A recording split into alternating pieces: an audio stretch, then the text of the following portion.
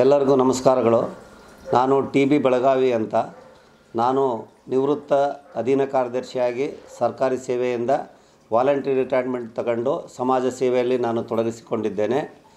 ನಾನು ಸಮ, ಈ ಸಮಾಜದಲ್ಲಿ ನಮ್ಮ ಕುರುಬರ ಸಂಘ ಆರಂಭವಾಗಿ ತೊಂಬತ್ತೊಂಬತ್ತು ವರ್ಷಗಳು ಕಳೆದರೂ ಸಹ ಈ ಸಂಘ ಯಾವ ಮಟ್ಟದಲ್ಲಿ ಇರಬೇಕಾಗಿತ್ತೋ ಆ ಮಟ್ಟದಲ್ಲಿ ಇರದೇ ಇರುವುದರಿಂದ ಹಾಗೂ ನಮ್ಮ ಹಿಂದುಳಿದ ವರ್ಗಗಳ ಸಮಾಜಗಳು ಇವತ್ತು ಶೈಕ್ಷಣಿಕವಾಗಿ, ಆರ್ಥಿಕವಾಗಿ, ಸಾಮಾಜಿಕವಾಗಿ, ರಾಜಕೀಯವಾಗಿ ಮುಂದೆ ಬರುತ್ತಿರುವುದನ್ನು ಕಂಪೇರ್ ಮಾಡಿದರೆ ನಮ್ಮ ಸಂಘ ಹಿಂದುಳಿದಿದೆ ಅನ್ನೋ ಒಂದು ಭ್ರಮೆಯಿಂದ ನಾನು ವಾಲಂಟಿ ರಿಟೈರ್ಮೆಂಟ್ ತಗೊಂಡು ಹಲವಾರು ಸಂಘ ಸಂಸ್ಥೆಗಳ ಸ್ನೇಹಿತರೊಂದಿಗೆ ನಾನು ಸ್ಪರ್ಧೆ ಮಾಡ್ತಾ ಇದ್ದೇವೆ.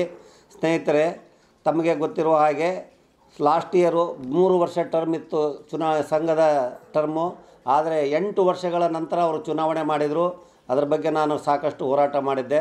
ತದನಂತರ ಐದು ವರ್ಷ ಟರ್ಮ್ ಇತ್ತು. ಈಗ ಆರು ವರ್ಷ ಮುಗಿತಾ ಬಂದಿದೆ. ಈಗಲೂ ಸಹ ಚುನಾವಣೆ ಮಾಡಲಿಕ್ಕೆ ಅವರಿಗೆ ಇಷ್ಟ ಇಲ್ಲ. ನಮ್ಮ ಸಂಘ ಅತ್ಯಂತ ಬಡ ಸಂಘ ಇವತ್ತು ನೋಡಿ ಕಂಪೇರ್ ಮಾಡಿದರೆ. ಯಾಕೆಂದರೆ ನಮ್ಮ ಹಿಂದಿನ ಹಿರಿಯರು ಏನು ಮಾಡಿದ್ರೋ? ಅದೇ ಸಂಘ, ಅದೇ ಆರ್ಥಿಕ ಮೂಲಗಳನ್ನು ಕೈಬಿಟ್ಟರೆ ಇವರು ಹದಿಮೂರು ವರ್ಷಗಳಲ್ಲಿ ಒಂದು ರೂಪಾಯಿಯು ಹೆಚ್ಚು ಬರುವ ಆರ್ಥಿಕ ಸಂಪನ್ಮೂಲಗಳನ್ನು ಕ್ರೋಢೀಕರಿಸಿಲ್ಲ ಇದು ಸಮಾಜದ ಒಂದು ಅಧೋಗತಿಗೆ ಹೋಯ್ತಾ ಇದೆ. ನಮ್ಮ ಸಮಾಜದ ಎರಡು ಹಾಸ್ಟೆಲ್ಗಳಿದ್ದಾವೆ. ಆ ಹಾಸ್ಟೆಲ್ಗಳ ದುಸ್ಥಿತಿಯನ್ನು ನಾವು ನೋಡಿಬಿಟ್ರೆ ಅವರು ಮುಂದೆ ಸಮಾಜಕ್ಕೆ ಯಾವುದೇ ಒಂದು ಸಹಾಯವನ್ನು ಮಾಡದ ಸ್ಥಿತಿಯಲ್ಲಿ ಕಾಣ್ತಾ ಇದ್ದಾರೆ. ಯಾಕೆಂದರೆ ಆ ವಿದ್ಯಾರ್ಥಿಗಳನ್ನು ಆ ರೀತಿ ಅವರು ಟ್ರೀಟ್ಮೆಂಟ್ ಮಾಡ್ತಾ ಇದ್ದಾರೆ. ತಾವು ಮಾಧ್ಯಮದವರು ಸಹ ನಾನು ಈ ಮೂಲಕ ವಿನಂತಿಸ್ತೇನೆ. ತಾವು ಒಂದು ಸಲ ಹೋಗಿ ನೀವು ಸಾಮಾನ್ಯರಂತ ಹೋಗಿ ಎರಡು ಹಾಸ್ಟೆಲ್ಗಳನ್ನು, ಅಲ್ಲಿರುವ ಟಾಯ್ಲೆಟ್ಗಳನ್ನು, ಅಲ್ಲಿರುವ ರೂಮ್ಗಳನ್ನು ತಾವು ನೋಡಿದರೆ ಅವರು ಯಾವ ರೀತಿ ಸಂಘವನ್ನು ನಡೆಸ್ತಾ ಇದ್ದಾರೆ ಅಂತ ನಮಗೆ ಗೊತ್ತಾಗುತ್ತೆ. ಈ ಹಿಂದಿನ ಸಂಘದಲ್ಲಿ ಒಳ್ಳೊಳ್ಳೆಯ ಉದ್ಯಮಿಗಳಿದ್ದಾರೆ, ಮಾಜಿ ಮೇಯರ್ ಇದ್ದಾರೆ, ಹಾಗೂ ಜಿಲ್ಲಾ ಪಂಚಾಯತಿ ಸದಸ್ಯರುಗಳು, ತಾಲೂಕಾ ಪಂಚಾಯತ್ ಸದಸ್ಯರುಗಳು, ಹೀಗೆ ರಾಜಕೀಯ ಮುಖಂಡರುಗಳು, ರಿಯಲ್ ಎಸ್ಟೇಟ್ ವ್ಯಾಪಾರಿಗಳು, ಹೀಗೆ ದೊಡ್ಡ ಶ್ರೀಮಂತರ ತಂಡವೇ ಇದ್ದರೂ ಸಹ ಅವರು ವೈಯಕ್ತಿಕ ಹಿತಾಸಕ್ತಿಗೆ ಮಾತ್ರ ಕೆಲಸ ಮಾಡ್ಕೊಂಡು ಬಂದರು. ತಮಗೆ ಗೊತ್ತಿದೆ, ನಮ್ಮ ಸಮಾಜದ ಮುಖ್ಯಮಂತ್ರಿಗಳಾದ ಸಿದ್ದರಾಮಯ್ಯನವರು ಐದು ವರ್ಷಗಳ ಸ್ವಚ್ಛ ಆಡಳಿತದಲ್ಲಿ ಅವರು ಎಲ್ಲ ಹಿಂದುಳಿದ ಸಮಾಜಗಳಿಗೆ ಸಾಕಷ್ಟು ಸೇವೆಯನ್ನು ಕೊಟ್ಟಿದ್ದಾರೆ. ಆದರೆ ನಮ್ಮದೇ ಸಮಾಜದ ಇವತ್ತು ಈ ಅವರು ಮುಖ್ಯಮಂತ್ರಿ ಆಗಿದ್ದಾಗ ಯಾಕೆ ಮುಂದೆ ಬರಲಿಲ್ಲ ಅನ್ನೋಕ್ಕೆ ನಾನು ಕಾರಣ ಇಷ್ಟ ಹೇಳಕ್ಕೆ ಪಡ್ತಾ ಇದ್ದೀನಿ. ಸಿದ್ದರಾಮಯ್ಯನವರು ಯಾವುದೇ ಕಾರಣಕ್ಕೂ ನಮ್ಮ ಸಮಾಜದ ಬಗ್ಗೆ ಅತ್ಯಂತ ಒಲವು ಹೊಂದಿದ್ರು. ಆದರೆ ಅದನ್ನು ಸದುಪಯೋಗ ಪಡಿಸಿಕೊಳ್ಳುವಂಥ ಕೆಲಸವನ್ನು ನಮ್ಮ ಸಂಘ ಮಾಡಲಿಲ್ಲ. ಕಾರಣ ಇಷ್ಟೇ ಅವರು ವೈಯಕ್ತಿಕ ಹಿತಾಸಕ್ತಿಗಳನ್ನು ಮುಂದಿಟ್ಟುಕೊಂಡು ಸಾಹೇಬರನ್ನು ದುರುಪಯೋಗ ಪಡಿಸ್ಕೊಂಡ್ರು ಯಾಕಂದರೆ ನಾನು ಅವ್ರ ಹತ್ರ ಸ್ಪೆಷಲ್ ಆಫೀಸರಾಗಿ ಕೆಲಸ ಮಾಡಿದ್ದೀನಿ ವೈಯಕ್ತಿಕವಾಗಿ ಹತ್ತಿರದಿಂದ ನೋಡಿದ್ದೀನಿ.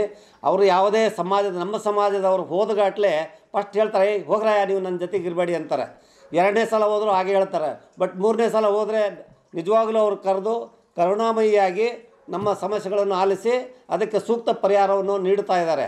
ಆದರೆ ಇವರು ಅದನ್ನು ದುರುಪಯೋಗ ಪಡಿಸ್ಕೊಂಡು ಇವರು ಹೋಗಲಿಲ್ಲ. ಒಬ್ಬರೇ ಇಬ್ಬಳಾರು ಹೋಗೋದು ಅವ್ರ ಮನೆಯಲ್ಲಿ ವರ್ಗಾವಣೆ ಬಗ್ಗೆ ಮಾತ್ರ ಪ್ರಯತ್ನ ಮಾಡೋದು ಬರ್ಸ್ಕೊಳ್ಳೋದು ಬರೋದು. ಈ ರೀತಿ ಅವರು ವೈಯಕ್ತಿಕವಾಗಿ ಸಾಕಷ್ಟು ಅನುಕೂಲಗಳನ್ನು ಪಡೆದರೆ ಹೊರತು ನಮ್ಮ ಕುರುಬರ ಸಂಘ ಇವತ್ತು ಅನಾಥವಾಗಿದೆ. ತೊಂಬತ್ತೆಂಟು ವರ್ಷದ ಬಿಲ್ಡಿಂಗ್ ಇವತ್ತು ಹಾಗೇ ಇದೆ. ಅದನ್ನೇನು ನವೀಕರಣ ಮಾಡಲಿಲ್ಲ. ಒಂದು ಐ ಟಿ ಐ ಕಾಲೇಜ್ ಇವತ್ತು ನಮ್ಮ ಇಂಥ ಇಡೀ ಕರ್ನಾಟಕದಲ್ಲಿ ಮೂರನೇ ಜನಸಂಖ್ಯೆ ಉಳ್ಳ ನಮ್ಮ ಸಮಾಜಕ್ಕೆ ಒಂದು ಐ ಟಿ ಐ ಕಾಲೇಜ್ ಇಲ್ಲ, ಒಂದು ಇಂಜಿನಿಯರಿಂಗ್ ಕಾಲೇಜ್ ಇಲ್ಲ, ಅಥವಾ ಒಂದು ಡಿಪ್ಲೊಮಾ ಕಾಲೇಜ್, ಮೆಡಿಕಲ್ ಕಾಲೇಜ್ ಬಿಡಿ, ಅದು ದು, ದುಬಾರಿ. ಬಟ್ ಅವು ಯಾವುದೂ ಇವತ್ತು ಮಾಡಲಿಕ್ಕೆ ಇವ್ರ ಕೈಲಿಂದ ಸಾಧ್ಯವಾಗಿಲ್ಲ. ಬರೀ ಸಮುದಾಯ ಭವಗಳನ್ನು ಮಾಡಿದ್ದಾರೆ, ಹೇಳ್ತಾ ಹೇಳ್ತಾ ಇದ್ದಾರೆ ಮಾಡಿದ್ದೇವೆ ಅಂತ. ಬಟ್ ಆ ಸಮುದಾಯ ಭವನಗಳು, ಅಲ್ಲಿಯ ಲೋಕಲ್ ಜನರ ಒಂದು ಆಸಕ್ತಿಯಿಂದ ಆಗಿರುವ ಹೊರತು ಇವರಿಂದ ಏನೂ ಆಗಿಲ್ಲ ಅಂತೇಳಿ ನಾನು ಹೇಳಲಿಕ್ಕೆ ಇಷ್ಟಪಡ್ತೇನೆ. ಸ್ನೇಹಿತರೆ, ನಾನು ಇವರ ಆಡಳಿತದ ಬಗ್ಗೆ ಹೆಚ್ಚು ಹೇಳಲಿಕ್ಕೆ ಇಷ್ಟಪಡೋದಿಲ್ಲ. ಆದರೆ ನಾನು ಮುಂದೆ ಅಧಿಕಾರಕ್ಕೆ ಬಂದರೆ ನಾನೇನು ಮಾಡ್ತೇನೆ ಅನ್ನೋದಕ್ಕೆ ನಾನು ಕೆಲವು ಉದಾಹರಣೆಗಳನ್ನು ಹೇಳಲಿಕ್ಕೆ ಇಷ್ಟಪಡ್ತಾ ಇದ್ದೇನೆ. ನಮ್ಮ ಮೊಟ್ಟ ಮೊದಲನೇ ಆದ್ಯತೆ ಅಲ್ಲಿರುವಂಥ ಕುರುಬರ ಸಂಘವನ್ನು ಡೆಮಾಲಿಷ್ ಮಾಡಿ, ಆ ಸ್ಥಳದಲ್ಲಿ ಒಂದು ಕುರುಬರ ಭವನವನ್ನು, ಅತ್ಯಂತ ಸುಸಜ್ಜಿತವಾದ ಕುರುಬರ ಭವನವನ್ನು ಮಾಡಲಿಕ್ಕೆ ಪ್ರಯತ್ನ ಮಾಡ್ತೀವಿ. ಅದೇ ರೀತಿ ಶ್ರೀನಿವಾಸ ನಗರದಲ್ಲಿರುವಂಥ ಹಳೆ ಕಟ್ಟಡಗಳನ್ನೆಲ್ಲ ಒಡೆದು ಅಲ್ಲಿ ಒಂದು ಮಾಲನ್ನು ಮಾಡಿದರೆ ನಮ್ಮ ಸಮಾಜಕ್ಕೆ ಒಂದು ಕೋಟಿ ಅಥವಾ ಒಂದೂವರೆ ಕೋಟಿ ಉತ್ಪನ್ನ ಪ್ರತಿ ತಿಂಗಳು ಬರುವಂಥ ಕಾರ್ಯವನ್ನು ನಾವು ಮೊಟ್ಟ ಮೊದಲನೇದಾಗಿ ಮಾಡಲಿಕ್ಕೆ ಇಷ್ಟಪಡ್ತೇನೆ. ತದನಂತರ ಸಂಘವನ್ನು ಸಂಘವನ್ನು ಆರ್ಗನೈಜೇಷನ್ ಮಾಡಲಿಕ್ಕೆ ಹೋಬಳಿ ಮಟ್ಟದಿಂದ, ತಾಲೂಕಾ ಮಟ್ಟದಿಂದ ನಾವು ಸಂಘಟನೆಯನ್ನು ಮಾಡಿ, ಸಂಘಟನೆಯು ಕರ್ನಾಟಕದಲ್ಲಿ ಅತ್ಯಂತ ಪ್ರಬಲವಾದ ಕುರುಬರ ಸಮಾಜ ಇವತ್ತು ಭಾಳಷ್ಟು ಆರ್ಗನೈಸ್ ಆಗಿದೆ ಅನ್ನೋದನ್ನು ನಾನು ತೋರಿಸಲಿಕ್ಕೆ ಪಡ್ತಾ ಇದ್ದೇನೆ. ತದನಂತರ ನಮ್ಮ ಹಲವಾರು ಸಮಸ್ಯೆಗಳಿವೆ. ನಮ್ಮನ್ನು ಎಷ್ಟಿಗೆ ಸೇರಿಸಬೇಕಾಗಿತ್ತು ಅಥವಾ ಕೆಟಗರಿ ಒನ್ನಕ್ಕೆ ಬರಬೇಕಾಗಿತ್ತು, ನಮ್ಮ ಕರ್ನಾಟಕದಲ್ಲಿ ಅತ್ಯಂತ ಹಿಂದುಳಿದ ಉತ್ತರ ಕರ್ನಾಟಕ ಜಿಲ್ಲೆಗಳ ಮಕ್ಕಳು ಇವತ್ತು ಪಡ್ತಾ ಇರೋ ಬವಣೆಯನ್ನು ನೋಡಿ ನಮಗೆ ಬೇಸರಾಗಿದೆ. ಇದೇ ಉದ್ದೇಶದಿಂದ ನಾವು ಕನಕಶ್ರೀ ಗೃಹ ನಿರ್ಮಾಣ ಸಹಕಾರ ಸಂಘದಲ್ಲಿ ಏನು ಲಾಭ ಬಂತೋ ಆ ಲಾಭದ ಜೊತೆಗೆ ನಾವು ಕೆಲವರೆಲ್ಲ ಸ್ನೇಹಿತರು ಸೇರಿ ಇವತ್ತು ಹದಿನಾರು ಕೋಟಿಯ ಒಂದು ಭವನವನ್ನು ಕಟ್ಟಿ, ಆ ಭವನದಲ್ಲಿ ಎರಡು ಸಮುದಾಯ ಭವನ ನೂರು ನೂರರಿಂದ ನೂರೈವತ್ತು ವಿದ್ಯಾರ್ಥಿಗಳಿಗೆ ಉಚಿತ ಶಿಕ್ಷಣ ನೀಡಲಿಕ್ಕೆ, ಬಡ ವಿದ್ಯಾರ್ಥಿಗಳಿಗೆ ಪ್ರತಿಭಾವಂತ ವಿದ್ಯಾರ್ಥಿಗಳಿಗೆ ಉಚಿತ ಶಿಕ್ಷಣ ನೀಡಲಿಕ್ಕೆ ಹಾಗೂ I A S K A S P S ಆಗಿರ್ಬೋದು, ಯಾವುದೇ ಜಾಬ್ ಓಡೆ ಓರಿಯೆಂಟೆಡ್ ಕೋರ್ಸ್ಗಳನ್ನು ಮಾಡಲಿಕ್ಕೆ ನಾನು ನಮ್ಮ ಸಮಾಜದ ಹಿರಿಯರಾದ ಐ ಎಸ್ ಕೆ ಎಸ್ ಆಫೀಸರ್ಗಳನ್ನು ಈಗಾಗಲೇ ಮಾತುಕತೆ ನಡೆಸಿದ್ದೇನೆ. ಅವರು ಸಹ ಮುಂದೆ ಬಂದು ನಾವು ಯಾವುದೇ ಪ್ರತಿಫಲ ಆಕಾಂಕ್ಷೆ ಇಲ್ಲದೆ ನಮ್ಮ ಸಮಾಜದ ವಿದ್ಯಾರ್ಥಿಗಳನ್ನು ನಾವು ಯಾವುದೇ ಒಂದು I A S K S ಮಟ್ಟಕ್ಕೆ ತಯಾರು ಮಾಡಲಿಕ್ಕೆ ನಾವು ತಯಾರಿದ್ದೇವೆ ಅಂತ ಹೇಳಿದ್ದಾರೆ. ಅದರಿಂದ ಅವ್ರಿಗೂ ಸಹ ನಾನು ಧನ್ಯವಾದಗಳನ್ನು ಅರ್ಪಿಸಲಿಕ್ಕೆ ಇಷ್ಟಪಡ್ತಾ ಇದ್ದೇನೆ. ಈಗ ಚುನಾವಣೆ ಇಪ್ಪತ್ತೆರಡು, ಹನ್ನೆರಡು, ಹತ್ತೊಂಬತ್ತರಂದು ನಡೆಯಲಿರುವುದರಿಂದ ನಾವು ಈಗ ಇಡೀ ಬೆಂಗಳೂರು ನಗರದ ಎಲ್ಲ ಪ್ರದೇಶಗಳಲ್ಲಿ ನಾವು ಹೋಗಿ ಭೇಟಿ ಕೊಟ್ಟಿದ್ದೇವೆ. ಅವರಿಗೆ ನಮ್ಮ ಹೆಸರು ನಾನನ್ನು ನೋಡದೇ ಇದ್ದರೂ ಸಹ ಅವರು ಬೆಳಗಾವಿ ಇವರು ಅನ್ನೋ ಒಂದು ಹೆಸರು ಅವರ ನೆನಪಿನಲ್ಲಿದೆ. ಅವ್ರು ಹೇಳ್ತಾರೆ, ನೀವೇನ ಬೆಳಗಾವಿ, ನೀವೇನ ದೇವರಾಜ್ ಅವರು, ನೀವೇನ ನಿಮ್ಮ ತಂಡ ಚೆನ್ನಾಗಿದೆ? ನಮ್ಮ ತಂಡದ ಬಗ್ಗೆ ಹೇಳಬೇಕಾದ್ರೆ ಒಬ್ಬರು ದೇವರಾಜು, ಅವರು ಆರ್ಕಿಟೆಕ್ಟು ಮತ್ತು ಇಂಜಿನಿಯರ್ ಸಹ ಅವರು ಅವರು ಇಡೀ ನಮ್ಮ ಸಮಾಜದ ಏನು ನಮ್ಮ ಗುರು, ಗುರುಕುಲದ ಮಠದ ಎಲ್ಲ ಬಿಲ್ಡಿಂಗ್ಗಳ ಉಸ್ತುವಾರಿಯನ್ನು ಯಾವುದೇ ಪ್ರತಿಫಲ ಆಕಾಂಕ್ಷೆಗಳಿಲ್ಲದೆ, ನಡೆಸ್ತಾ ಇದ್ದಾರೆ. ಇನ್ನೊಬ್ಬರು ಜಯರಾಮ್ ಅಂತೇಳಿ, ಅವರು ಇವತ್ತು ಅತ್- ಅತ್ಯಂತ ಪ್ರಖ್ಯಾತವಾದ ಜನತಾ ಕೋಪರೇಟಿವ್ ಬ್ಯಾಂಕಿನ ನಿರ್ದೇಶಕರಾಗಿ ನಮ್ಮ ಟ್ರಸ್ಟಿನ ಡೈರೆಕ್ಟ್ರಾಗಿ ಕೆಲಸ ಮಾಡ್ತಾ ಇದ್ದಾರೆ. ನಂತರ ಇನ್ನೊಬ್ಬರು ಕೃಷ್ಣಕುಮಾರ್ ಅಂತ ಇದ್ದಾರೆ. ಅವರು ಇಡೀ ರಾ ನಮ್ಮ ರಾಜ್ಯದ K S R T C ನಮ್ಮ ನೌಕರರ ಸಂಘದ ಕನಕ ನೌಕರರ ಸಂಘದ ಅಧ್ಯಕ್ಷರಾಗಿ ಕೆಲಸ ಮಾಡ್ತಾರೆ. ನಾಗರಾಜ್ ಅವರು ಹೆಲ್ತ್ ಡಿಪಾರ್ಟ್ಮೆಂಟ್ನವರಾಗಿದ್ದು ಅವರು ಇಡೀ ಹೆಲ್ತ್ ಡಿಪಾರ್ಟ್ಮೆಂಟ್ ನೌಕರ ಸಂಘದ ಅಧ್ಯಕ್ಷರಾಗಿ ಕೆಲಸ ಮಾಡ್ತಾ ಇದ್ದಾರೆ. ಅಂಜನಪ್ಪ ಅಂತೇಳಿ ಅವರು ಸಕ್ರಿಯ, ಬಿ ಜೆ ಪಿ ಸಕ್ರಿಯ ಕಾರ್ಯಕರ್ತರು. ಅವರು ಅಲ್ಲಿ ಜಿಲ್ಲಾ ಪಂಚಾಯಿತಿಯಲ್ಲಿ ಅವರು ಹೆಂಡತಿಯನ್ನು ನಿಂದಿರಿಸಿ ಬರೀ ನೂರು ಓಟ್ನಿಂದ ಸೋತಾ ಇದ್ದಾರೆ. ಮಂಜುನಾಥ್ ಅಂತ ಅವರೊಬ್ಬರು ಉದ್ಯಮಿ, ಅವರು ಸಾಕಷ್ಟು ಕೆಲಸಗಳನ್ನು ಕೆ ಪಿ ಅಗ್ರಹಾರದಲ್ಲಿ ಮಾಡಿದ್ದಾರೆ. ಕಣ್ಣೂರು ನಾಗೇಶ್ ಅಂತ ಕೊಡುಗೈ ದಾನಿ ಅವರು ಸಹ ಗ್ರಾನೈಟ್ ಉದ್ಯಮಿ. ಅವರು ಇದ್ರ ಬಗ್ಗೆ ಇಂಟ್ರೆಸ್ಟ್ ಇರಲಿಲ್ಲ. ನಾ ಕನ್ವಿನ್ಸ್ ಮಾಡೋದಿಲ್ಲ ಸಮಾಜಕ್ಕೆ ನಾವು ಹುಟ್ಟು ಮತ್ತು ಸಾವಿನ ನಡುವೆ ಏನಾದರೂ ಒಂದು ಕೆಲಸ ಮಾಡಬೇಕ್ರಿ, ನಾಗೇಶ್ ಅಂತ ಹೇಳಿದಾಗ ಆಯಿತು ಅಂತೇಳಿ ಅವರು ನಮ್ಮ ಕೈ ಜೋಡಿಸಿ ಇಡೀ ಒಂದು ಏನು ಪೂರ್ವ ತಾಲೂಕಿನಲ್ಲಿ ಅವರು ಆರ್ಗನೈಸೇಷನ್ ಮಾಡ್ತಾ ಇದ್ದಾರೆ. ಇನ್ನೊಬ್ಬರು ಮಲ್ಲೇಶಿ ಅಂತ ಸಹ ಅವರು ನಮ್ಮ ಕದ್ರಿನಹಳ್ಳಿಯಿಂದ ಕಂಟೆಸ್ಟ್ ಮಾಡ್ತಾರೆ. ಆಮೇಲೆ ಮ, ಪರ, ಪರಮೇಶ್ ಕೃಷ್ಣಪ್ಪ ಅಂತೇಳಿ ಯುವ ಕಾಂಗ್ರೆಸ್ ಮುಖಂಡರು, ಆಮೇಲೆ ಪ್ರೇಮಲತಾ ಬಸವರಾಜ್. ಇವರು ಅಲ್ಲಿ ಒಬ್ಬ ಟ, ಸಾಮಾನ್ಯ ಟೀಚರ್ ಆಗಿ ಕಾಂಗ್ರೆಸ್ ಐನ ಅಲ್ಲಿಯ ಬ್ಲಾಕ್ ಕಾಂಗ್ರೆಸ್ ಅಧ್ಯಕ್ಷರಾಗಿ ಕೆಲಸ ಮಾಡ್ತಾರೆ. ಸಮಾಜ ಸೇವೆಯಲ್ಲಿ ಸಾಕಷ್ಟು ತೊಡಗಿಸ್ಕೊಂಡಿದ್ದಾರೆ. ಇನ್ನೊಬ್ಬರು ಲಕ್ಷ್ಮಿ ಅಂತೇಳಿ ಅವರು ಇಲ್ಲಿ ನಮ್ಮ ಗಾಯತ್ರಿ ನಗರದಲ್ಲಿದ್ದು, ಅವರು ಸಹ ಬಿ ಜೆ ಪಿ ಕಾರ್ಯಕರ್ತರು. ನಮ್ಮ ಇನ್ನೊಬ್ಬರು ಶೋಭಾ ಅಂತೇಳಿ ಅವರು ಅಲ್ಲಿ ಜೆ ಪಿ ನಗರದಲ್ಲಿ ಗೃಹಿಣಿ ಮತ್ತು ಅಲ್ಲಿ ಸಮಾಜ ಸೇವೆಯಲ್ಲಿ ತೊಡಸ್ಕೊಂಡಿದ್ದಾರೆ. ನಾನು ನಮ್ಮ ಸಮಾಜಕ್ಕೆ ಹೇಳಲಿಕ್ಕೆ ಇಷ್ಟಪಡೋದು ಇಷ್ಟೇ ಅಂದರೆ ಯಾವುದೇ ಸಂಘ ಆಗಿರ್ಬೋದು ಅಥವಾ ಕುರುಬರ ಸಂಘ, ಇದು ರಾಜಕೀಯ ಪಕ್ಷಗಳಿಂದ ಹೊರತಾಗಿರಬೇಕು.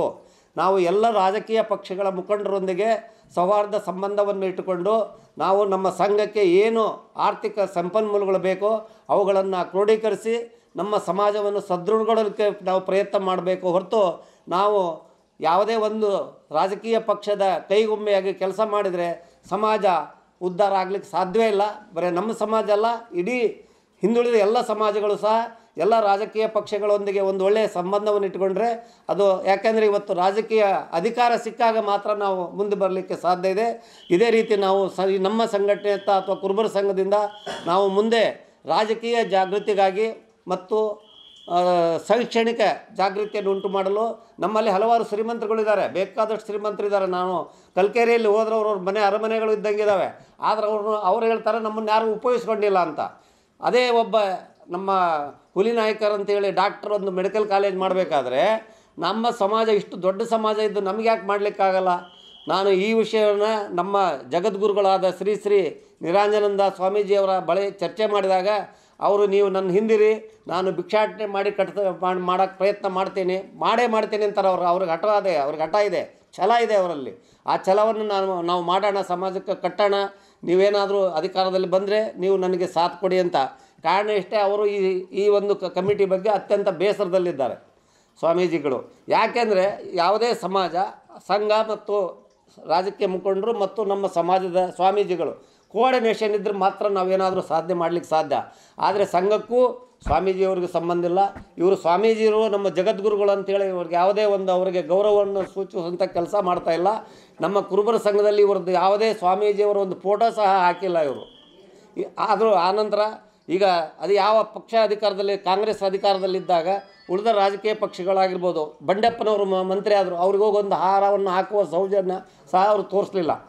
ಯಾಕಂದರೆ ಅವರಿಗೆ ಒಂದೇ ಕಾಂಗ್ರೆಸ್ ಪಕ್ಷ, ಸಿದ್ದರಾಮಯ್ಯನವರು.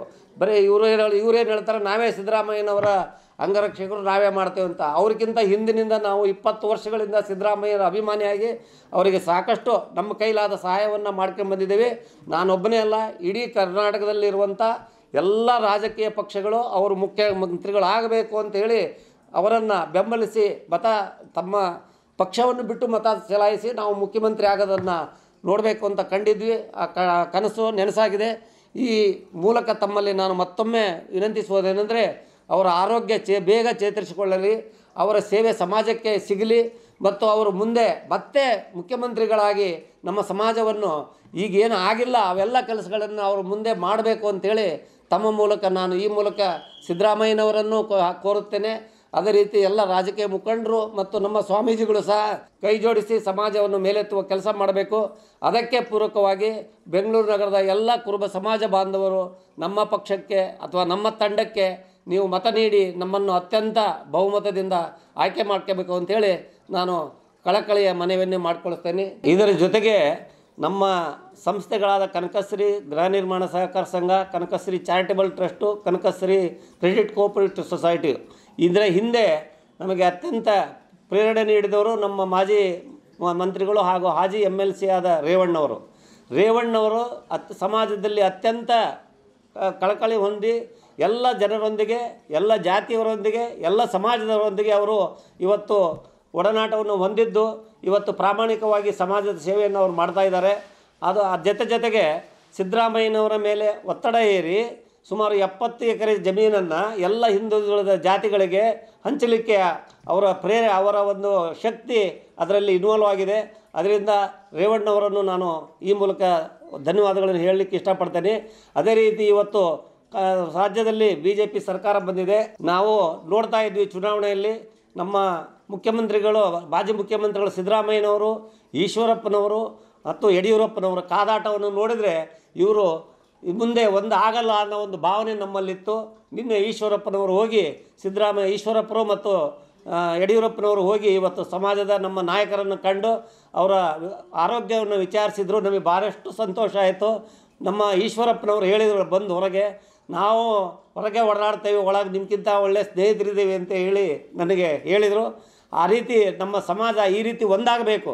ನಾವು ರಾಜಕೀಯವಾಗಿ ಯಾವುದೇ ಪಕ್ಷದಲ್ಲಿದ್ದರೂ ಸಹ, ಸಮಾಜದ ದೃಷ್ಟಿಯಲ್ಲಿ ಸ, ಮತ್ತು ನಮ್ಮ ಸಂಘದ ದೃಷ್ಟಿಯಲ್ಲಿ ಅವರೆಲ್ಲರೂ ನಮಗೆ ಕೈ ಜೋಡಿಸಿದರೆ ಮಾತ್ರ ನಾವು ಸಂಘಟನೆಯನ್ನು ಮಾಡಲಿಕ್ಕೆ ಸಾಧ್ಯ. ಈಗ ಬಿ ಜೆ ಪಿ ಸರ್ಕಾರ ಬಂದಿದೆ. ಬಿ ಜೆ ಪಿ ಸರ್ಕಾರದಲ್ಲಿ ಯಡಿಯೂರಪ್ಪನವರು ನಮ್ಮನ್ನು, ನಮ್ಮ ಸಮಾಜದ ಐದು ಜನಗಳನ್ನು ಮಂತ್ರಿ ಮಾಡ್ತೀವಿ ಅಂತ ಹೇಳಿದ್ದಾರೆ. ಇದು ಇದು ಇದೊಂದು ಇತಿಹಾಸ. ಈ ಐದು ಜನ ಮಂತ್ರಿಗಳು ಈಗ ನಮ್ಮ ಯಡಿಯೂರಪ್ಪನವರ ಕ್ಯಾಬಿನೆಟ್ನಲ್ಲಿ ಇರ್ತಾರೆ. ನಾವು ಅವ್ರ ಹತ್ರ ಪೂರ್ವಭಾವಿಯಾಗಿ ಆಗಲೇ ಎಲ್ಲರನ್ನು ಮೀಟ್ ಮಾಡಿದ್ದೀವಿ. ನಾವು ವೈಯಕ್ತಿಕ ಯಾವುದೇ ಆಶಯ, ಆಕಾಂಕ್ಷೆಗಳನ್ನು ಇಟ್ಟು ನಿಮ್ಮ ಹತ್ರ ಬರ್ತಾ ಇಲ್ಲ ಸರ್. ಐದು ಜನ ಇಲ್ಲಿವರೆಗೂ ಆಗಿಲ್ಲ, ಈಗ ಆಗ್ತಾ ಇದ್ದೀರಿ. ಆದರೆ ನಮ್ಮ ಸಮಾಜದ ಮೊಟ್ಟ ಮೊದಲನೇ ಕರ್ತವ್ಯ ಅಂದ ನಮ್ಮನ್ನು ಎಸ್ ಟಿ ಮಾಡಲಿಕ್ಕೆ ಸಾಧ್ಯವಿಲ್ಲ ಒಮ್ಮೆಲೆ, ಅದು ಸಾಕಷ್ಟು ಸಮಯ ತಗೊಳುತ್ತೆ. ಆದ್ದರಿಂದ ಕೆಟಗರಿ ಒಂದನ್ನು ಮಾಡಲೇಬೇಕು ಅಂತೇಳಿ ನಾವು ಮನವಿ ಮಾಡಿದ್ದೀವಿ. ಮಾನ್ಯ ಮುಕುಡಪ್ಪನವರು ಸಹ ಹೇಳಿದ್ದಾರೆ, ಅದೆಲ್ಲ ಡೀಟೇಲ್ಸನ್ನು ಕೊಟ್ಟು ನಮ್ಮನ್ನು ಕೆಟಗರಿ ಒಂದಕ್ಕೆ ಇಮಿಡಿಯೇಟಾಗಿ ಮಾಡಿದರೆ ನಮ್ಮ ವಿದ್ಯಾರ್ಥಿಗಳಿಗೆ ಸಾಕಷ್ಟು ಅನುಕೂಲ ಆಗುತ್ತೆ ಅಂಥೇಳಿ ಮನವಿಯನ್ನು ಮಾಡಿದ್ದೇವೆ. ಅವರು ಸಹ ಇಷ್ಟರಲ್ಲಿ ಕ್ಯಾಬಿನೆಟ್ ಆಗುತ್ತೆ. ಅದರಲ್ಲಿ ವಿಶ್ವನಾಥ್ ಅವರು, ಶಂಕರ್ ಅವರು, ಬಸವರಾಜ್ ಅವರು, ಎಂ ಟಿ ಬಿ ನಾಗರಾಜು ಮಂತ್ರಿಗಳು ಆಗ್ತಾರೆ. ಇವತ್ತು ನಾನು ಅವರಲ್ಲಿನೂ ಮನವಿ ಮಾಡಿದ್ದೇನೆ. ನೀವು ಐದು ಜನ ಕ್ಷೇತ್ರ ಸೀಮೆ, ನಾವು ತಮ್ಮ ಕ್ಷೇತ್ರಕ್ಕೆ ಮಾತ್ರ ಸೀಮಿತವಾಗಿದ್ದಿರಿ ಇನ್ನು ಬಿಡಬೇಕು. ರೇವಣ್ಣವರಿಗೆ, ವಿಶ್ವನಾಥ್ ಅವರಿಗೆ, ಸಿದ್ದರಾಮಯ್ಯನವ್ರಿಗೆ ಆಲ್ಟರ್ನೇಟಿವ್ ಲೀಡರ್ ಆಗಿ ಅಂದರೆ ಮುಂದಿನ ನಮ್ಮ ಸಮಾಜದ ಎರಡನೇ ಹಂತದ ಲೀಡರ್ ಆಗಿ ನೀವು ಬೆಳಿಬೇಕು. ಅದನ್ನು ಸಂಘ ನಿಮ್ಮ ಕಾರ್ಯ, ಕರ- ಕಾರ್ಯಕ್ರಮಕ್ಕೆ ನಾವು ಪ್ರೋತ್ಸಾಹ ನೀಡಿ, ಇಡೀ ರಾಜ್ಯದಾದ್ಯಂತ ನಿಮ್ಮನ್ನು ಪರಿಚಯಿಸಿ, ಸಮಾಜವನ್ನು ಒಗ್ಗೂಡಲಿಕ್ಕೆ ನಾವು ಪ್ರಯತ್ನ ಮಾಡ್ತೀವಿ ಅಂತ ಹೇಳಿ ಹೇಳಿ ಅವರಲ್ಲಿಯೂ ಸಹ ನಾವು ಬೇಡಿಕೆಯನ್ನು ಇಟ್ಟಿದ್ದೇವೆ. ಅವರು ಸಹ ಸ್ಪಂದಿಸಿದ್ದಾರೆ. ಇಷ್ಟರಲ್ಲಿಯೇ ಮೀಟಿಂಗ್ ಮಾಡಿ ನಾವು ಈ ಮುಂದೆ ಈ ನಮ್ಮ ಐದು ಜನ ಮಂತ್ರಿಗಳಿಗೆ ಸನ್ಮಾನ. ಅದರ ಜೊತೆಗೆ ಮುಖ್ಯಮಂತ್ರಿಗಳಿಗೂ ಸನ್ಮಾನ ಇಟ್ಟು ಆ ಮೂಲಕ ಸಮಾಜಕ್ಕೆ ಎಷ್ಟು ಸಾಧ್ಯವೋ ಅಷ್ಟು ಅನುಕೂಲಗಳನ್ನು ಪಡೀಲಿಕ್ಕೆ ನಾವು ಪ್ರಯತ್ನ ಮಾಡ್ತೀವಿ ಅಂತೇಳಿ ಈ ಮೂಲಕ ಹೇಳಿ ನಮ್ಮನ್ನು ಜಯಶೀಲರನ್ನಾಗಿ ಮಾಡುವಂತೆ ವಿನಂತಿ ಮಾಡ್ತಾ ಇದ್ದೇನೆ. ನಂತರ ಹೇಳೋದಾದರೆ ನಮ್ಮ ಕನಕ ಜಯಂತಿಯನ್ನು ಆಚರಣೆ ಹಿಂದೆ ನಾನು ನೌಕರ ಸಂಘದ ಅಧ್ಯಕ್ಷನಿದ್ದಾಗ ರಿಸ್ಟ್ರಿಕ್ಟೆಡ್ ಹಾಲಿಡೇಯನ್ನು ಮಾಡಿ ಮಾಡಿಸಿದ್ವಿ ನಾವು. ಹಿಂದಿನ ಚೀಫ್ ಸೆಕ್ರೆಟರಿ ಹತ್ರ ನಾನೇ ಹೋಗಿ ಕೂತ್ಕೊಂಡು ನಾನು ಅದನ್ನು ರಿಸ್ಟ್ರಿಕ್ಟೆಡ್ ಹಾಲಿಡೇ ಮಾಡಿಸಿದ್ವಿ. ತದನಂತರ ಈಶ್ವರಪ್ಪರವರು ಮಂತ್ರಿ ಆದಾಗ ಆ, ನಮ್ಮ ಮುಖ್ಯಮಂತ್ರಿಗಳಾದ, ಹಿಂದಿನ ಮುಖ್ಯಮಂತ್ರಿಗಳಾದ ಯಡಿಯೂರಪ್ಪನವರ ಬಳಿ ಚರ್ಚೆ ಮಾಡಿ ನಮ್ಮ ಸಮಾಜಕ್ಕೆ ಸುಮಾರು ಮೂವತ್ತು ಕೋಟಿ ಹಣವನ್ನು ಅವರು ನೀಡಿದರು. ಅದೇ ರೀತಿ ಕನಕ ಜಯಂತಿಯನ್ನು ರಾಜ್ಯ ಸರ್ಕಾರವೇ ಆಚರಿಸಬೇಕು ಮತ್ತು ಅವತ್ತು ರಜಾವನ್ನು ಕೊಡಬೇಕು ಅಂತೇಳಿ ಈ ಈಶ್ವರಪ್ಪನವರ ಪ್ರಯತ್ನದಿಂದ ಯಡಿಯೂರಪ್ಪನವರು ನಮ್ಮ ಸಮಾಜಕ್ಕೆ ದೊಡ್ಡ ಕೊಡುಗೆಯನ್ನು ನೀಡಿದ್ದಾರೆ. ಅಲ್ಲದೆ ಈಶ್ವರಪ್ಪನವ್ರ ಪಿಡ್ನಲ್ಲಿನೂ ಹಲವಾರು ನಮ್ಮ ಕನಕದಾಸರ ಗ್ರಂಥಗಳನ್ನು ಕನ್ನಡ ಮತ್ತು ಇತರ ಭಾಷೆಗಳಿಗೆ ಜನಸಾಮಾನ್ಯರು ಓದುವ ಮಟ್ಟದಲ್ಲಿ ತರ್ಜಮೆ ಮಾಡಿ ಬೇರೆ ಭಾಷೆಗಳಿಗೂ ಭಾಷಾಂತರ ಮಾಡುವಂಥ ಕಾರ್ಯಕ್ರಮಗಳನ್ನು ಮಾಡಿದ್ದಾರೆ. ನಮ್ಮಲ್ಲಿ ಇನ್ನೊಬ್ಬ ರಾಜಕೀಯ ಮುಖಂಡರಿದ್ದಾರೆ ಯುವ ಮುಖಂಡರಿದ್ದಾರೆ. ನಮ್ಮ ಶ್ರೀ ವರ್ತುಲ್ ಪ್ರಕಾಶ್ ಅವ್ರ ಬಗ್ಗೆ ಹೇಳೋದಾದರೆ, ಅವರು ನಮ್ಮ ರಾಜ್ಯದ ಭಾಳ ಪ್ರಭಾವಿ ಮತ್ತು ಯುವ ಮುಖಂಡರು. ಇವತ್ತು ನಮ್ಮ ರೇವಣ್ಣ, ವಿಶ್ವನಾಥ್ ಈಶ್ವರಪ್ಪರ ಮತ್ತು ಬಿಟ್ಟರೆ ರಾಜ್ಯದಂಥ ಪ್ರಕಾಶ್ ಅವರ ಅಭಿಮಾನಿಗಳ ಸಂಘವನ್ನು ಮಾಡುವ ಮೂಲಕ ಇಡೀ ರಾಜ್ಯಾದ್ಯಂತ ಅವರ ಹೆಸರು ಪ್ರಚಲಿತ ಇದೆ. ಅದರಿಂದ ಅವರು ಬರಬೇಕು. ಅವರು ಸಮಾಜದಲ್ಲಿ ಸಕ್ರಿಯವಾಗಿದ್ದು, ಸಂಘಟನೆಯಲ್ಲಿ ಸೇರಿಕೊಂಡು ಸಮಾಜವನ್ನು ಕಟ್ಟುವ ನಿಟ್ಟಿನಲ್ಲಿ ತಾವು ಇರಬೇಕು ಸರ್. ತಾವು ಕ್ರಿಯಾಶೀಲರಾದರೆ ನಾವು ನಿಮ್ಮ ಕೈ ಜೋಡಿಸ್ತೇವೆ ಅಂತೇಳಿ ನಾವು ಮೊನ್ನೆ ಅವರ ಮನೆಗೆ ಹೋಗಿ ಮನವಿ ಮಾಡಿದಾಗ ಅವರು ಸಹ ಭಾಳಷ್ಟು ಸ್ಪಂದನೆ ನೀಡಿ ನಾನು ಮಾಡ್ತೀನಿ ಅಂತ ಹೇಳಿದ್ದಾರೆ. ನಮ್ಮ ಮನವಿ ಇಷ್ಟೇ. ರಾಜಕೀಯ ಮುಖಂಡರು, ನಾವು ಯಾವುದೇ ರಾಜಕೀಯ ಪಕ್ಷಕ್ಕೆ ಸೀಮಿತವಾದವರಲ್ಲ. ನಮಗೆ ಇಡೀ ಕರ್ನಾಟಕದಲ್ಲಿರುವಂಥ ನಮ್ಮ ಸಮಾಜದ ರಾಜಕೀಯ ಮುಖಂಡರು ಬಿ ಜೆ ಪಿ ಇರಲಿ, ಕಾಂಗ್ರೆಸ್ ಇರಲಿ, ಜೆ ಡಿ ಎಸ್ ಇರಲಿ, ಅವರ ಅವರೊಂದಿಗೆ ನಾವು ಒಳ್ಳೆಯ ಸಂಪರ್ಕಗಳನ್ನು ಇಟ್ಕೊಂಡು ನಾವು ಸಮಾಜದ ಅಭಿವೃದ್ಧಿಗೆ ಕೆಲಸ ಮಾಡ್ತೀವಿ ಅಂಥೇಳಿ ನಾನು ಈ ಮೂಲಕ ವಿನಂತಿಸ್ತಾ ಇದ್ದೀನಿ. ಜೊತೆಗೆ ವಿಶೇಷವಾಗಿ ಬಾ, ನಮ್ಮ ಜಾತ್ಯಾತೀತ ಜನತಲದಲ್ಲಿ ಬಂಡೆಪ್ಪ ಕಾಶೆಂಪುರವರು ಸಹ ಇದ್ದಾರೆ. ಅವರು ಸಮಾಜದ ಬಗ್ಗೆ ಅತ್ಯಂತ ಕಾಳಜಿಯನ್ನು ಹೊಂದಿದ್ದು, ನಾವು ಅವರನ್ನು ಕರೆದು ನಮ್ಮ ಸಮುದಾಯ ಭವನವನ್ನು ಉದ್ಘಾಟನೆ ಮಾಡೋ ಸಂದರ್ಭದಲ್ಲಿ ನಾವು ಅವರನ್ನು ಇನ್ವೈಟ್ ಮಾಡಿ ಅವ್ರಿಗೂ ಸನ್ಮಾನ ಮಾಡಿ ನಮ್ಮ ಮನವಿಯನ್ನು ಸಲ್ಲಿಸಿದ್ವಿ. ಅವರು ಹೇಳಿದರು, ನಾನು ಕುಮಾರಸ್ವಾಮಿ ಅವ್ರ ಹತ್ರ ಮಾತಾಡಿ, ನೀವು ಒಳ್ಳೆಯ ಕೆಲಸ ಮಾಡಿದಿರಿ. ನಿಮಗೆ ನಾನು ಈ ಟ್ರಸ್ಟಿಗೆ ಸಾಧ ಸಾಧ್ಯವಾದಷ್ಟು ಹಣವನ್ನು ಕೊಡ, ಕುಮಾರಸ್ವಾಮಿ ಅವರಿಂದ ಕೊಡಿಸ್ತೇನೆ ಅಂದರು. ದುರ್ದೈವ, ಅಷ್ಟರೊಳಗೆ ಅವರು ಮಂತ್ರಿ ಪದವಿಯನ್ನು ಕಳ್ಕೊಂಡ್ರು. ಹಾಗಾಗಿ ನಮಗೆ ಅವರ ಸೇವೆಯ ಮುಂದೆ ಅಗತ್ಯವಿದೆ. ಯಾಕೆಂದರೆ ಉತ್ತರ ಕರ್ನಾಟಕದಲ್ಲಿ ನಮ್ಮ ಬಂಡಪ್ಪ ಕಾಶೆಂಪುರು ಜೊತೆಗೆ ಇನ್ನೊಬ್ಬ ಹಿರಿಯ ನಾಯಕರಿದ್ದಾರೆ ವಿರೂಪಾಕ್ಷಪ್ಪನವರು. ಮಾಜಿ ಎಂ ಹಾಗೂ ಮಾಜಿ ಶಾಸಕರು, ಅವರು ಸಹ ಮೊನ್ನೆ ಮೀಟಿಂಗ್ ಮಾಡಿದಾಗ ಹೇಳಿದರು, ನಾನು ಇನ್ನು ರಾಜಕೀಯದಿಂದ ನಿವೃತ್ತಿ ಆಗ್ತೇನೆ. ಎಲ್ಲ ಯುವಕರನ್ನು ಒಗ್ಗೂಡಿಸಿ ನಾವು ಮುಂದೆ ಕರ್ನಾಟಕದಲ್ಲಿ ಕುರುಬರನ್ನು ಎಸ್ ಟಿ ಮಾಡಲಿಕ್ಕೆ ಹೋರಾಟವನ್ನು ಆರಂಭಿಸಬೇಕು. ನಮಗೆ ಯಾವ ರಾಜಕೀಯ ಪಕ್ಷದ ಏನು ಸಹಾಯ ಬೇಕಾಗಿಲ್ಲ. ನಮಗೆ ಯಾರು ಎಸ್ ಟಿಯನ್ನು ಮಾಡ್ತಾರೆ ಅವರಿಗೆ ನಮ್ಮ ರಾ, ನಮ್ಮ ಕು, ಸಮಾಜದ ಬೆಂಬಲ ಇರುತ್ತೆ ಅನ್ನೋ ದೃಷ್ಟಿಯಲ್ಲಿ ನಾವೊಂದು ಸಂಘಟನೆಯನ್ನು ಇಷ್ಟರಲ್ಲೇ ಸ್ಟಾರ್ಟ್ ಮಾಡ್ತೀವಿ ಅಂತ ಹೇಳಿದ್ದಾರೆ. ಅದಕ್ಕೆ ನಮ್ಮ ಮುಕುಡಪ್ಪನವರು ಸಾಥ್ ಕೊಟ್ಟಿದ್ದಾರೆ. ಈ ರೀತಿ ನಾವು ಸಮಾಜದ ಎಲ್ಲ ರಾಜಕೀಯ ಮುಖಂಡರ ವಿಶ್ವಾಸವನ್ನು ತೆಗೆದುಕೊಂಡು ಸಮಾಜವನ್ನು ಎಸ್ ಟಿ ಕ್ಯಾಟಗರಿಗೆ ಸೇರಿಸಲಿಕ್ಕೆ ನಮ್ಮ ಸಂಘ ನಾವು ಅಧಿಕಾರದಲ್ಲಿ ಬಂದರೆ ಪ್ರಯತ್ನ ಮಾಡ್ತೇವೆ. ನಾವು ಅಧಿಕಾರದಲ್ಲಿ ಬರದೇ ಇದ್ದರೂ ಸಹ ನಾವು ಈ ಹೋರಾಟಕ್ಕೆ ನಮ್ಮ ಸಂಪೂರ್ಣ ಬೆಂಬಲ ಇರುತ್ತೆ ಅಂಥೇಳಿ ನಾನು ಈ ಮೂಲಕ ಹೇಳಲಿಕ್ಕೆ ಇಷ್ಟಪಡ್ತಾ ಇದ್ದೇನೆ ನಾನು ನಮ್ಮ ಸಮಾಜದ ಹಿರಿಯರು ಹಾಗೂ ಯುವ ಮುಖಂಡರು ಹಾಗೂ ಸಮಾಜದ ಇತರ ಎಲ್ಲ ನಮ್ಮ ಹಿತೈಷಿಗಳು ಈ ಒಂದು ಇಪ್ಪತ್ತೆರಡು, ಹನ್ನೆರಡು, ಹತ್ತೊಂಬತ್ತರಂದು ನಡೆಯಲಿರುವ ಚುನಾವಣೆಯಲ್ಲಿ ನಾನು ತಮ್ಮೆಲ್ಲರ ಸಹಕಾರದೊಂದಿಗೆ ಸಹಕಾರವನ್ನು ಕೋರ್ತಾ ಇದ್ದೇನೆ. ಕಾರಣ ಇಷ್ಟೇ, ನಮ್ಮ ಕ್ರಿಯಾಶೀಲತೆಯನ್ನು ತಾವು ಒಪ್ಕೊಂಡಿದ್ದೀರಿ ಹರಿಸಿದ್ದೀರಿ ಹಲವಾರು ಸಂಘ ಸಂಸ್ಥೆಗಳಲ್ಲಿ ನನ್ನನ್ನು. ಅದರಿಂದ ನಮ್ಮ ತಂಡ ಅತ್ಯಂತ ಕ್ರಿಯಾಶೀಲವಾಗಿ ಹಾಗೂ ವಿವಿಧ ಕ್ಷೇತ್ರಗಳಲ್ಲಿ ಪರಿಣಿತಿ ಹೊಂದಿರೋದರಿಂದ ನಮ್ಮ ತಂಡಕ್ಕೆ ಮತ ನೀಡಿ ನಮ್ಮನ್ನು ಜಯಶೀಲರನ್ನಾಗಿ ಮಾಡುವಂತೆ ನಾನು ತಮ್ಮಲ್ಲಿ ಮತ್ತೊಮ್ಮೆ ಕಳಕಳಿಯ ವಿನಂತಿಯನ್ನು ಮಾಡಿಕೊಳ್ತಾ ಇದ್ದೇನೆ.